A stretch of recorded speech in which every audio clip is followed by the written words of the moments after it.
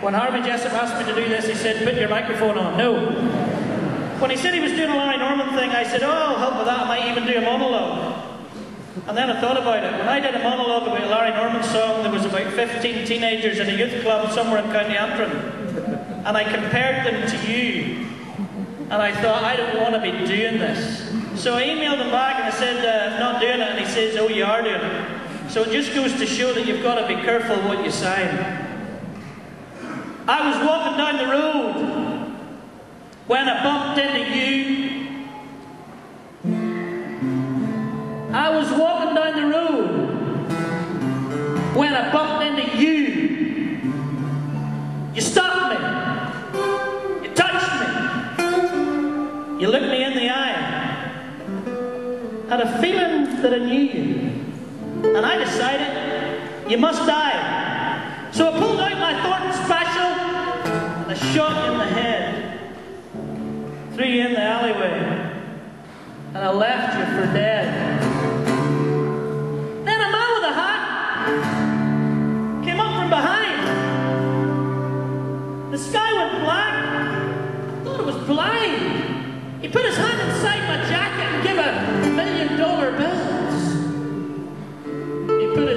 Hand inside my pocket gave me women and thrills.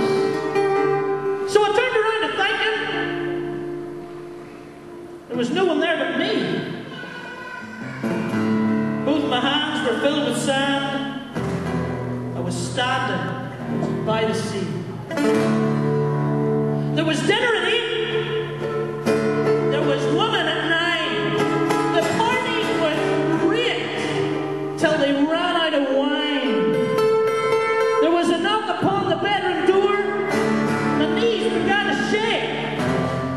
And a man came in and melted all the candles in my cake. He said, I've come here to escort you. It's time for you to go. And he opened up my body and he took away my soul. I was running. I was running down the road. I was trying to leave when I saw you all alone in between the thieves. The lightning flashed. I saw somebody